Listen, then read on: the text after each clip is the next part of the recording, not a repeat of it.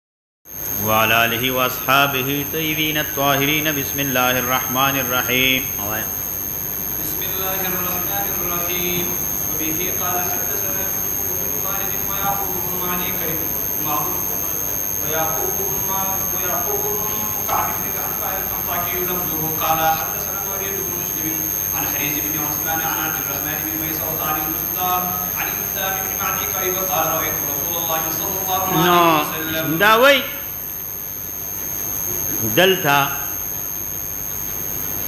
دا محمود ابن خالد او یعقوب ابن کعب انتواکی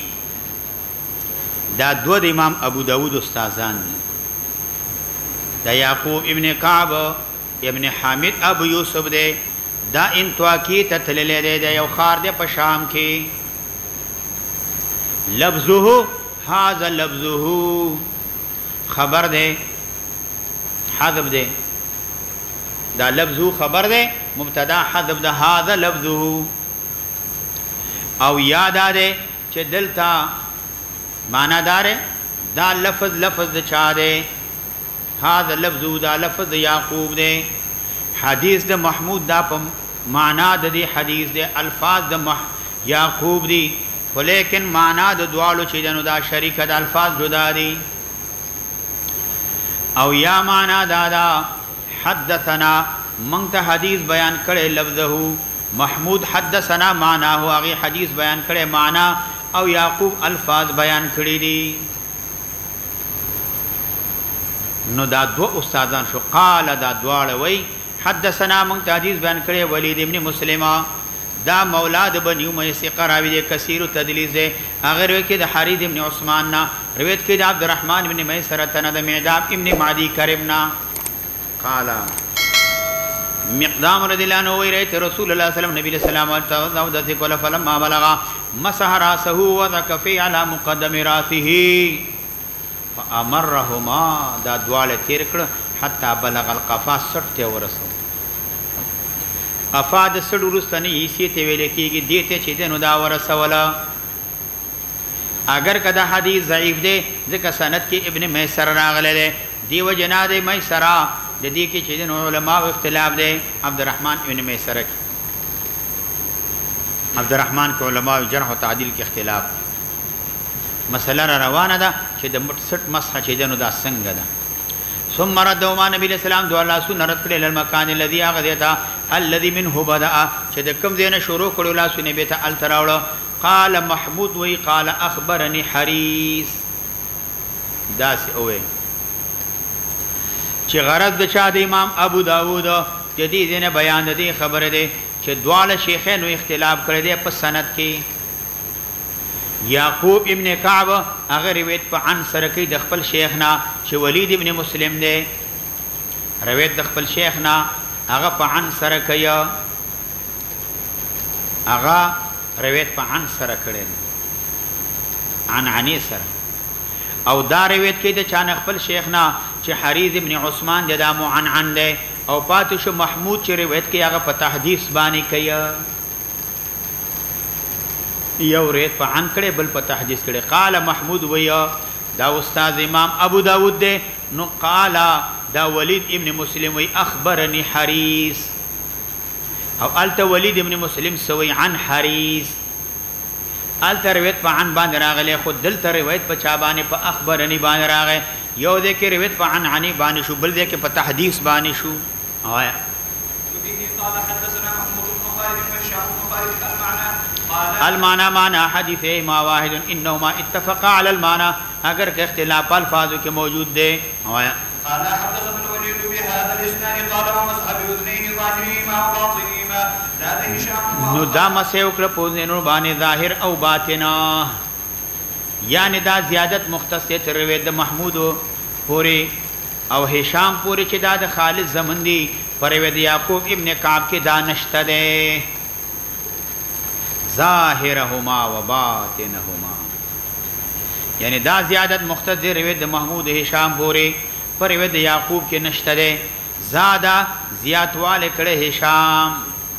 دا زیادت بیا مختص دی روایت د هشام ابن خالد پورې د ولید نه پر روایت د محمود ابن خالد کې او پر روایت د یعقوب ابن کعب کې نشته دی هغه دواړه پر روایت د یعقوب کې نشته دی دا رې زیادت چې دی نو هشام کړی دی، هشام ابن خالد، د ولید نه په روایت د محمود کې او په روایت د یعقوب کې دا نشته دی، هغه دا دی، وادخل اصابعه، داخلې کړې دا دواړه ګوتې، مراتن سبابتین دي، دا دواړه مصبحې ګوتې د دې سرونه بیا داخل کړ فی سماخ اذنه په سوري د غوږونو کې فی سماخ اذنه په سوري د چا کې د غوږونو کې دا داخل کړ سماخ سوري ته ویل کېږي د غوږونو دې کې داخل کړ دا دواړه سرونه د ګوتو نو دا زیاده صرف هشام کړی دی او نور دواړو روایتونو کې دا نشته نه ده محمود په روایت کې شته نه د کعب په روایت کې وایا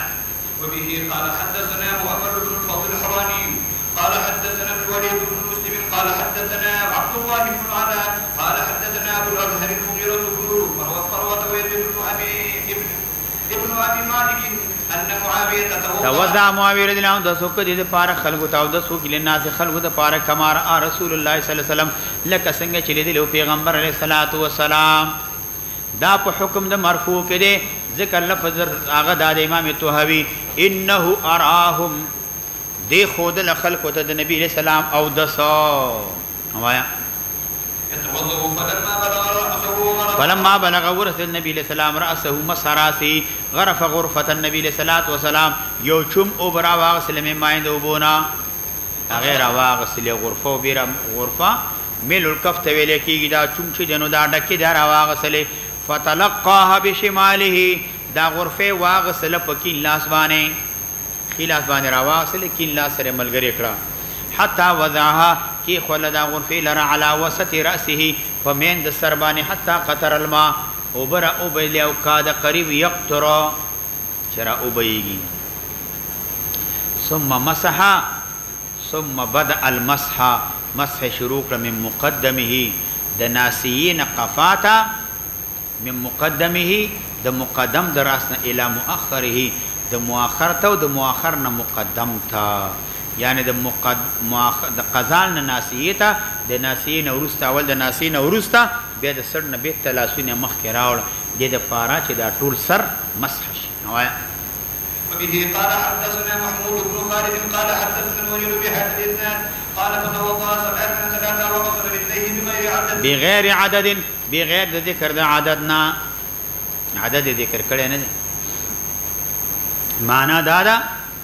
بغیر عدد قال بغیر ذکر عدد دا ویلی بغیر د ذکر د عدد نه وغسل رجلیه عدد وسره ذکر نه دی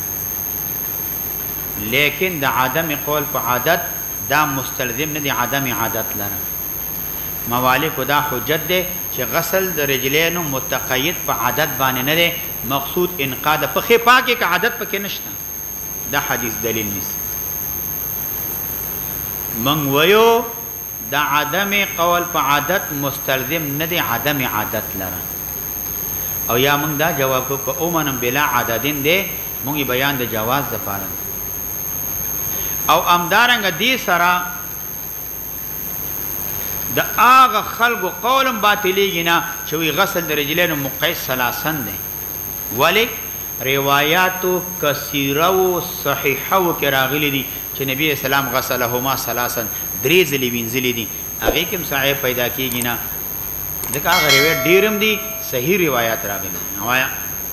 وبه قال حدثنا مسدد قال حدثنا بشر بن مفضل قال حدثنا عبد الله بن محمد بن عقيل عن عن الربيع بن دا عبد الله بن عقيل دي حجت دي کې اختلاف دي ابن سعد منکر الحدیث دی ابن معین وای ضعیف دی امام احمد ابن حنبل اسحاق نری احتجان به حدیثی حدیث قابل د حجت دی وایا قال كان رسول الله صلی الله علیه وسلم دا ربیع بنت معاذ ابن عفراء چې نبی علیہ السلام سره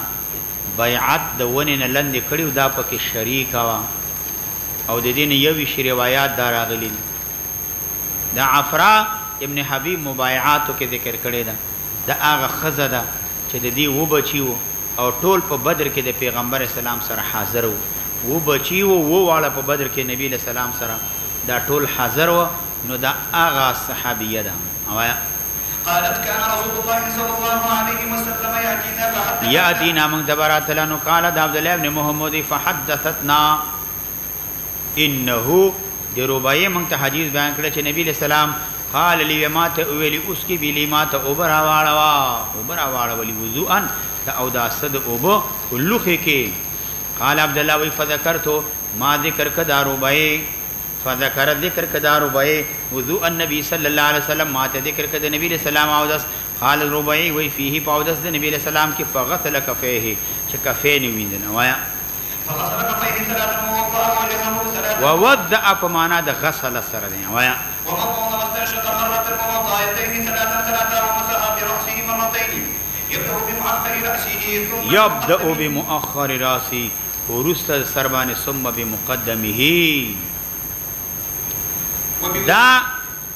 يبدأ بمؤخر راسه ثم بمقدمه دا بيان د مرتين کوي د هغې وضاحت کوي چې مس يې دوه ځلې وکړه څنګه دوه ځلې شروع مؤخر د سر نه وکړه بيا په مقدم د سر نه وکړه مؤخر نه مخکې مخکې نه وروسته نو دوه ځل شو د حدیث په دې باندې دال نه دی چې دا مسح مرتين وا نه بلکه حدیث دال ده استیعاب الرأس بالمسح مرتن واحدتن وا خو دا استیعاب حاصلیدلا په مسح مرتین باندې ځکه مسح مرتین وی چې استیعاب دو ځل مسح وشوا نو هغه نه بعد استیعاب حاصل شو دا باندې چې مسح دو ځل شوی لیکن دلته بعضې خلکو دلیل په دې حدیث نیولی، په همدې حدیث باندې هغه څه وایي، هغه وایي شروع په مسح کې په مؤخر د رأس وکړه ثم مقدم باندې، ولې سراتن حدیث کې شته که نشته؟ اول مؤخر ذکر دی که نه دی؟ بیا مقدم ذکر دی که نه دی؟ لیکن ابوبکر ابن عربي وایي چې دا تحریف د راوي دی په سبب د فهم د وجې نه، ځکه فأقبل بهما وأدبرا. هغوی د دې تقاضا دا کوي چې ابتدا په مؤخر د رأس باندې وکړه، داسې نه ده، بلکې د دې نه ماسوا صحیح روایت دي، ما هو اصح منه، هغه د دې سره معارض دي چې حدیث د عبدالله ابن زید دی، هلته شروع د مقدم نه شوې ده او یا موږ وایو دا فعل نبي علیه السلام بیان د جواز لپاره کړی دی او دریم جواب دا کوو. چه دلته دا سیاق یبدأ من مؤخر راسه ددې مطلب دا دی شروع یې وکړه بامرار الیدین الی مؤخر راسه لاسونه نبی علیه السلام وروسته تیر کړه ثم بامهما الی مقدمه هغې نه بعد مخکې راوړه د اولاد د دې نه چې نسبت تحریف د راوي ته وکړي دقه معنا وکړه دا ټولو کې صحیح ده وايه. وفي اذنيه كلتيهما ظهورهما او طولهما ووضع رجليه ثلاثا ثلاثا قال ابو داود قال ابو داود وهذا معنى حديث مضرب. يعني ماته الفاظ د حديث د مسدد ياد نه دي امام ابو داود دا ما چې ذکر کړی دا معنا د حديث د مسدد دی الفاظ د مسدد ماته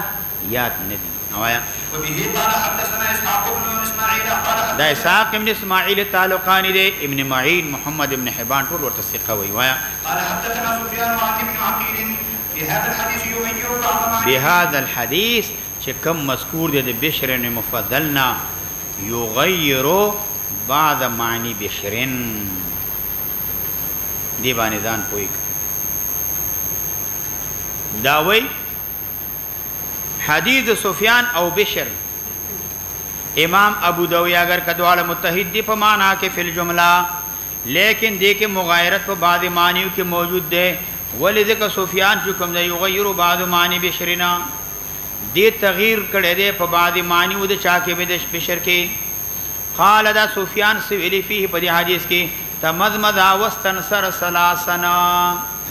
او مفضل سویلی وو مضمدا وستن سره مرتن دا غه تغیر دی هغه مرتن ویلی دی ثلاثه نه ویلی نو ځکه بعضی الفاظو کی تغیر راغلی تغیر دا دی چی هلته مرتن ذکر وو دلته ثلاثا ذکر دی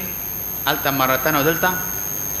ثلاثا دقه هغه تغیر دی ګوره وایا. قال فيه وتمضمض واستنثر ثلاثا حدث وبه قال حدثنا قتيبة بن سعيد ويزيد بن خالد الهمداني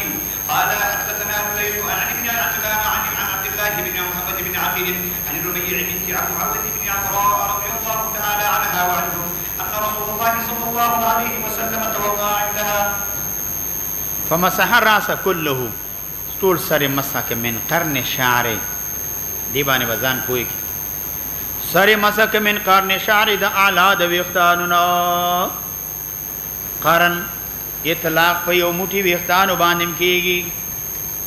او د قرن اطلاق په جانب د راس باندې هم کیږي من ای جهت کانا چې د هر جهت نوي د چا نوي د هر جهت نوي او د قرن اطلاق چې کوم دی په اعلی د راس باندې کیږي د یو موټي ویختانو تم ویل کیږي سر پورتنی حصے تم ویل کیږي جانب د سر تم ویل کیږي ښه موقع برابر شو هم سر خولی شو هم لوچولو ته ضرورت راغی یو موټی ویختان دا چې دی دې ته سوی قرن اعلی دراز ته قرن جانب دراز ته قرن سر ته قرن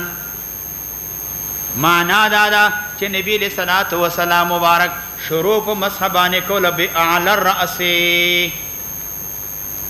د پاسه نبی علیه السلام شروع کوله تر دې حده چې نبی علیه السلام به اسفل ته راغی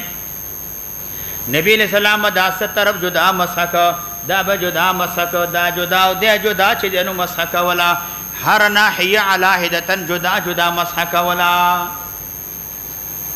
نبی علیہ السلام بعض وی مراد په قرن سره اعلی در اس ده ولی ځکه که د خکی مسح کې نو داسې مسح کې نو د ویختان چې دی نو هیئت خرابېږي ویختان او هیئت خرابېږي ویختان ببر مبر کېږي د پاسه به نبی رسول الله داس هر ځای ویختان خپل ځای کې مسح کې چې ویختان خپل هیئت باندې خراب نشي دا سنه معلومه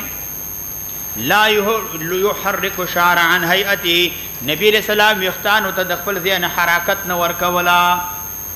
یو شو یا مراد د قرن مقدم د راست نه مراد دی نبی علیہ السلام شروع کړه د مسیح ابتدا د مسیح د مقدم د راسنا مستوعبا جميع جوانبه ټول جوانب به نبی علیه الصلوة والسلام دا مسح کوله تر دې حده پورې چې مؤخر دراز ته به ورغی، دا مؤخر دراز دا څټ چې کوم دی دا ځای د کوزېدلو د وېښتانو دی، چې ملا صاحب سنت طریقه وېښتان وي ستړي وي نو چېرته ځي نو شاته روان دي دا د وېښتانو کوزېدلو ځای دی که نه دی لمنصب شعر نو ځکه وایي کله من قرن شکل ناحیه هر ناحیه نبی علیہ السلام هغه مسا کوله کائنت لمنصب شاری منصب د هر ناحیه چې د لپاره ټول سر مسکی منصب شار نه مراد هغه مکان مراد دی چې دا ویختان کم دی تاغي ته غورځيږي اسفل در است نه مراد دی اصل کې دا منصب د سباب نه ما خو سباب الماء، انحدار الماء من اعلی الی الاسفل، دی د پاسه اوبه لندې راغورځېږي، دا وېښتان د پاسه چې دی نو ښکته ځي، یو خو دا ځي د اسبابو، وسایلو، څیزونو سره، ځان نه د ځنګل ځناور جوړ کړي، داسې وېښتان ببر کړي، داسې سر یې ببر کړی، داسې لیدلي هم دي. د سیم یختان او داسې ببر داسې به دومره یو لوی مضبوط سره جوړ کړي دا نه خو خپل ویختان داري چې ویختان د پاسه نه ښکته راځي ویختان داسې څه داسې څه داسې ویختان ښکته راځي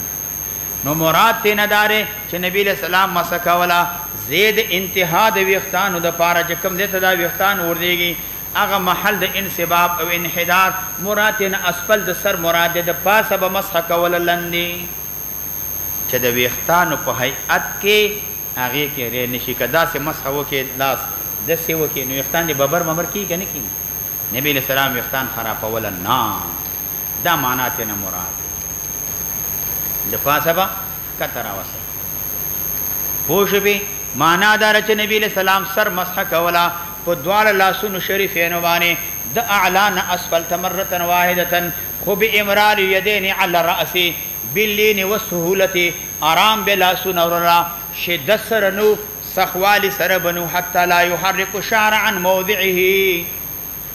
عن هیئته، نبی علیه السلام مسح د اسفل نه اعلی ته نه کوله، ولې مسح د اعلی نه اسفل ته وکړي؟ خلل په نظام د ویښتانو کې راځي، نظام د ویښتانو دې ګډوډېږي. وایه. وبه قال حدثنا قتيبة بن سعيد قال حدثنا مكحول عن ابن مضر عن ابن عجلان عن عبد الله بن محمد بن عقيل عن ربيع بنت معوذ بن عفراء رضي الله تعالي عنها وعنهم اخبرته قالت رايت رسول الله صلی الله عليه وسلم يتوضا قالت فمسح راسه ومسح ما اقبل منه وما ادبر نو مونږ ته د سره وکړه ومسح ما اقبل منه نبی علیه الصلاة والسلام مسح وکړه د عاطف سب تفسیر دی مسح د پاره فمسح راسه سمنا ومسح ما اقبل منه د عاطف تفسیر دی چې کم مخامخ هغه مسح وما ادبر مسح کړ وصدغيه، د دواړو هغه ځای چې د سترګې د غوږ په مين کې ده هغه يې مسح کړ، واذنيه، دواړه غوږونه يې مسح کړل، مرة واحدة. اقبال او ادبار، دا دواړه مجوعا مسحا واحدا، دا يو مسح شوه. او مخکې حدیث کې راغله چې مسح مرتين امام شعرانی بعضی سلفونه تسلیث د مسح نقل کړي دي تطبیق دا دی نبی له سلام سر مبارک را لاس مبارک را واغ سدی ته یا پو خوئی دلته کې خو ده لاس را واغ سکه خو ده وې دا یو مسح شوا لاس یې شا ته ویول دا بل مسه شوه شا ته نه مخکې لاس یې راول درې مسه شوې مسه یوه د وې څو شوې درې چې لاس یې کېښود بعضې وایي کېښود شا ته یو مسه شوه د شا ته نه مخکې راول دا بله مسه شوه نو ځکه تعبیر یې په مرتین باندې کړی دی حقیقت کې دا ټول یو مسخه ده. دا ټول څنګه ده؟ دا یو مسخه ده. یا پوخ د هغه تی ماشوم چې پیدا شي سا کته پورته کوي دا دی داسې داسې کې خوځېږي دې ته ویل کېږي چا چې د کیفیت ته کتلی دی مسح یو ځل ده چا چې نبی له سلام لاسونو حرکت ته کتلی او مسح دوه ځل ده او چا چې نبی له سلام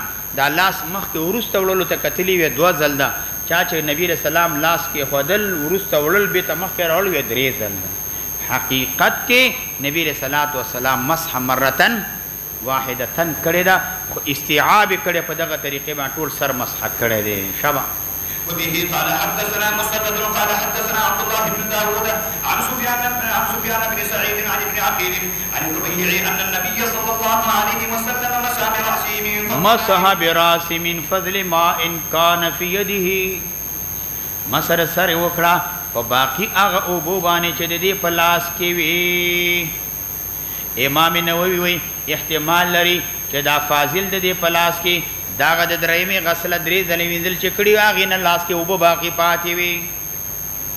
او مونږ ويو نه چې نفلي طهارت کې اوبه استعمال شي هغه په طهوريت باندې باقي پاتې کيږي امام بيهقي تاويل کوي وي اخذ ماء جديدا نوي اوبه راواغستلې او دا چې دی نو دغه د لاسو د لونوالي نو د دې وجې نه اوبه راواغستلې سر یې مسح کړی دې د پاره چې موافق شي بماء غیر فضل یدیه څلورم امام حلبی وای او دسې وکړ مسح نبی علیه السلام کړی په لونوالي باندې چې باقی پاتې او د دې په کفینو کې بعد الغسل دا مسح جایز ده ځکه هغه لونوالی چې باقی پاتې بعد الغسل دا مستعمل نه دی لونوالی لاس کې باقي پاتې دا مستعمل نه دی ځکه مستعمل اوبه هغه ته ویل کېږي چې په اندام باندې اوبهیږي د اندام نه جدا شي کس نو دا خو اندام نه جدا شوي نه دي که نه دا مستعمل نه دي په دې باندې مسحه وکړو او که مسحه په موضوع باندې وکړي په باقي هغه اوبو باندې چې د مسحې نه وروسته ستا په لاس باندې باقي پاتې دې نه بعد پښې دې ووینځلې مسحه دې په موضوع باندې وکړه هغه اوبو باندې چې کوم د مسح نه وروسته ستا په لاس کې باقي پاتې نو هغې باندې مسح په موضوع جائز نه ده ولې ځکه هغه لونوالی چې ستا په لاس کې د مسح نه وروسته دی دا مستعمل دی ځکه مستعمل څه ته وایي ما اصاب الممسوح وقد اصاب ممسوح ته رسېدلی دا مستعمل دی هغې باندې جائز نه دی خو که اندام دې ووینده لاس کې دې اوبه پاتې دې باندې مسح کې دا جائز دی سر مسح جائز ده. که مسه دې په موضوع باندې وکړه اوبر بیا لاس دې لوند و سر مسه کول جایز نه دی ولې ځکه دا اوبه مستعملې دي اوبه مستعملې دي ما صاب الممسوح تا په موضوع ته ورسیدلې که ونه رسیدلې ممسوح ته رسیدلې کنه وایه. وبه قال حدثنا ابراهيم بن سعيد قال حدثنا وكيع قال حدثنا الحسن بن الربيع ان النبي صلى الله عليه وسلم مسح براسه من بول ماء.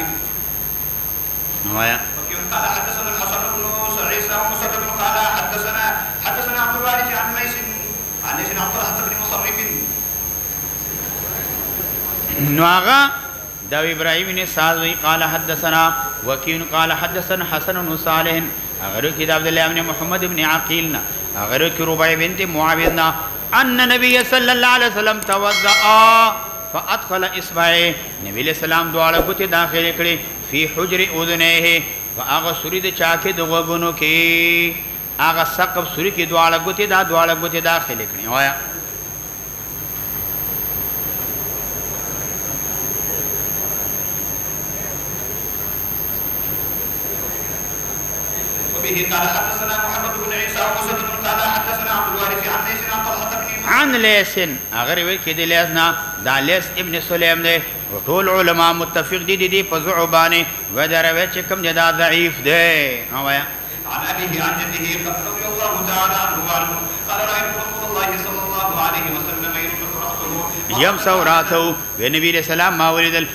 مسح کوله سر مرة واحدة یو ځلي حتی بلغ القذال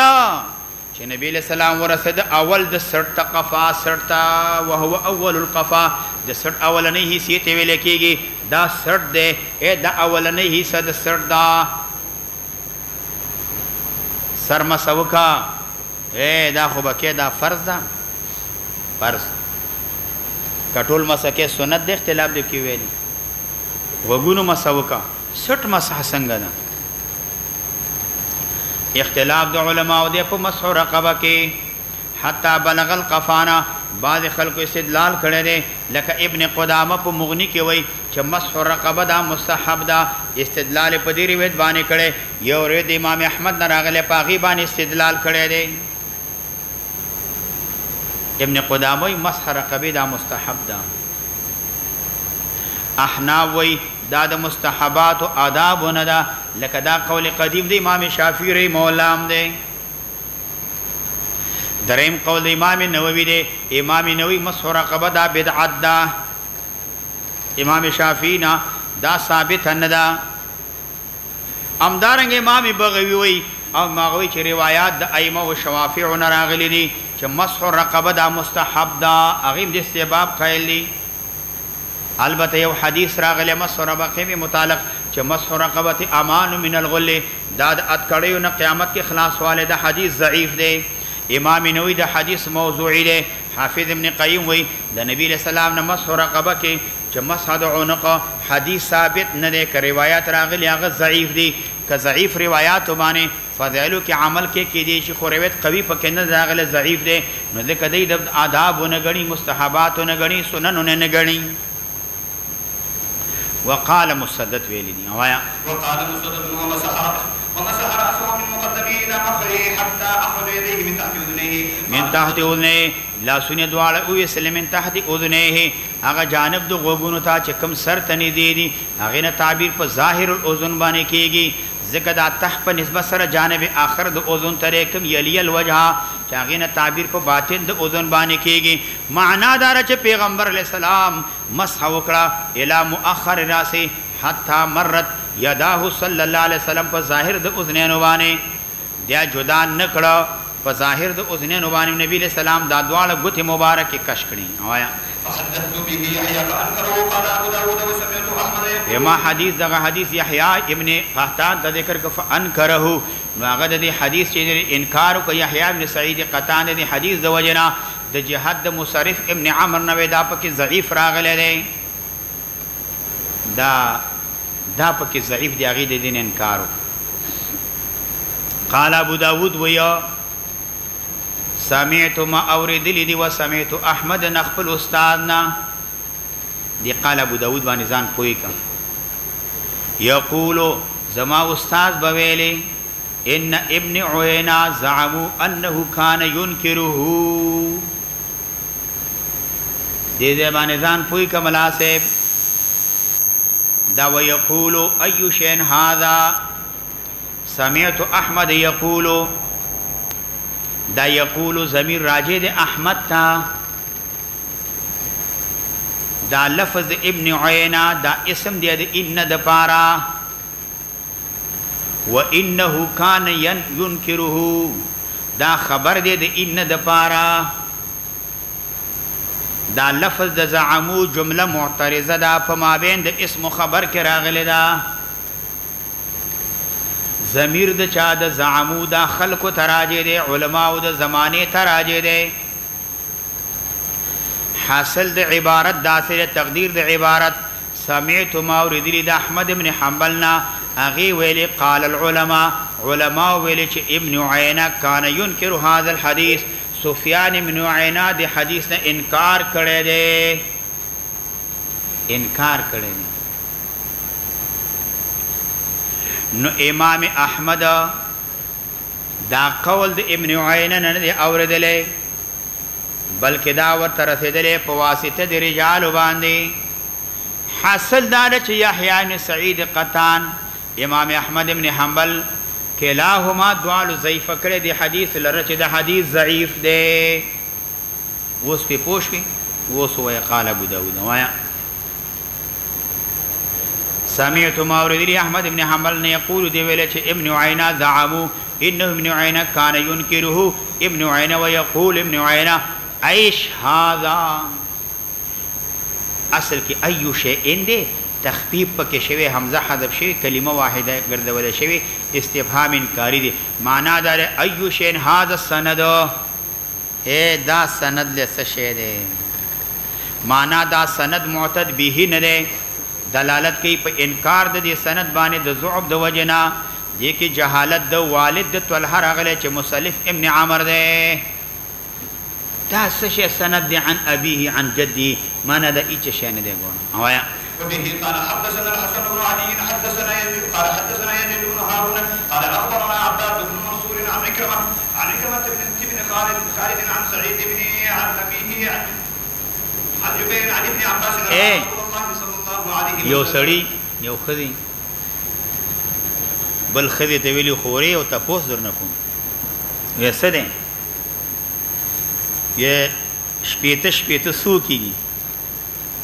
وی مړی چې چیته جړ عیسی وی هم دا ماته راوړي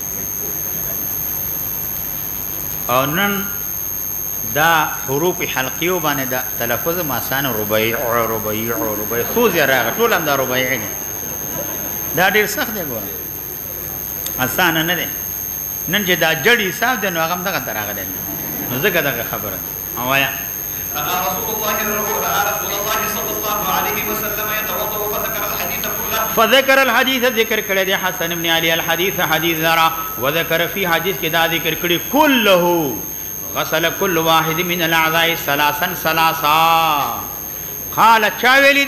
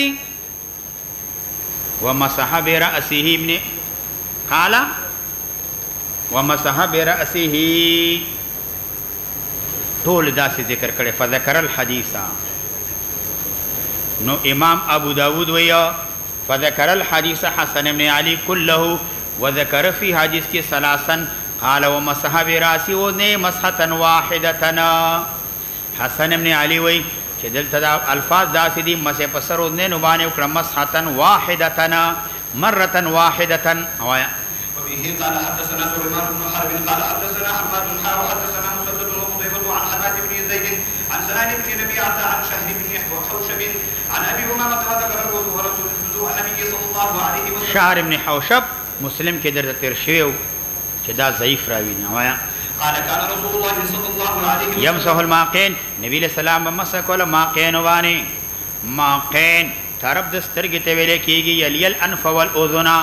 چې کوم غوږ ته نږدې ده، کوم پزې ته نږدې ده، دې ته ماپ ویل کیږي، دا مسح چې کوله دا مبالغه ده په اسباغ کې،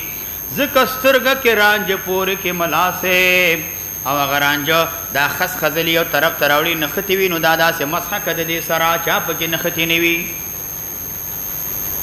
طرف د پوزې ته وایي نو وایا قال وقال ابو نعم من الراس قال قال نو دی وجنه دا به مو اموي وقال نبی له سلام ویل الاذنان من الراس دا دواړه غوګونه چې کوم دي دا د سر نه دي اضافت د غوګونو سر ته وکاو دا اضافت تشبیه او تقریبی ده اضافت تحقیقی نه ده مانا دادا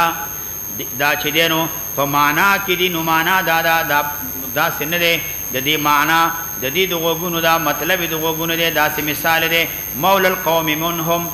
اے یو قوم ولګي د غلام آزاد کدا د دې قوم نه دی دا موالات کې په نصرت کې په حکم د نسب او استحقاق کې نه دی مقصود دلته دا د نبی له سلام الاذنان من راسه غوګونه او وسله د مخنا په حکم د غسل کې ځکه د دوی په مابین کې مشابهت من جهت صورت و، ځکه دا دواړه بغیر د ویښتانو نه دي په اصل خلقت کې، او بل دا دی دا مخ چې کوم دی دا محل د معظم د حواسو دی، نو دا قطع د شبهه د اتحاد یې وکړه چې حکم کې دې سره متحد نه دی، بلکې د دې حکم د چا د سر سره دی د مخ سره نه دی، الاذنان من الرأس. وايه. قال سليمان بن حرب يقول ها ابو امامة قال قتيبة قال حناد لا ادري هو من هو قول النبي صلی دا الله عليه قول وسلم. والاذنان من اراس دا قول د نبي علیه السلام دی یا د ابي امامة دی يعني قصة الاذنين دا قصه د چا د غوږونو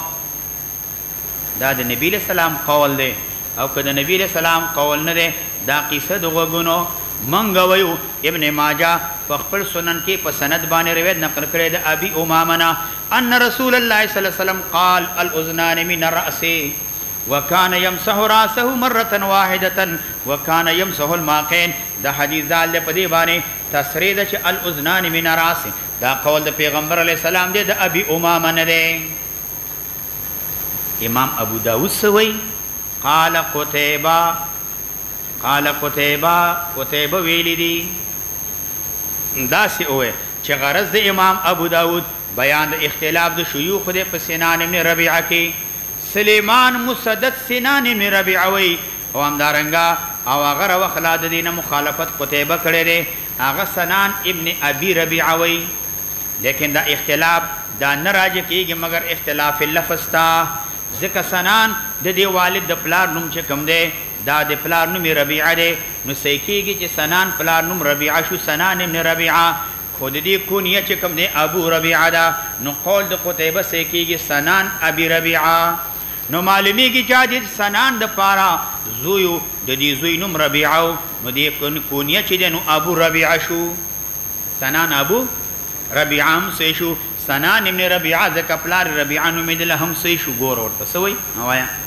باب الوضوء ثلاث ثلاثا. قال قتيبه وائي سنان اب سنان ابي ربيعه وقال ابو داود وائي وهو دا سنان ابن ربيعه دی کنيه يې ابو ربيعه ده ددې دواړو په مابين کښې تطبيق يې چې دی نو ددې دواړو په مابين کښې وکړ. زه بس وکم اللهم صل علی محمد وعلی ال محمد کما صلیت علی ابراهیم وعلی ال ابراهیم انک حمید مجید الحمد لله رب العالمین والصلاة والسلام علی خیر خلقه محمد و آله و اصحاب اجمعین ان شاء الله نو را روانه جمعه کې کې دې شي اتوار یا ګل په ورځ باندې ان شاء الله مسلم بم شروع کو نو دا ټیم بارکه د خیر سره دعاګانې وکاو چې الله دې وسعت او پیراخوالی پکې راولي مسلم به انشاءالله را روان یو جمعه کې انشاءالله هغه به شروع کړو الله طالبان فاضلان عالمان کې الله موسم یخ کې د خپل فضل د کرم او د رحمت بارانونه وکړي سیلابونو نه د افات او بلیاتو نه ټول امت مسلمه محفوظ کې یا الله سره د مونږ ټول ته روغ صحت ورکړي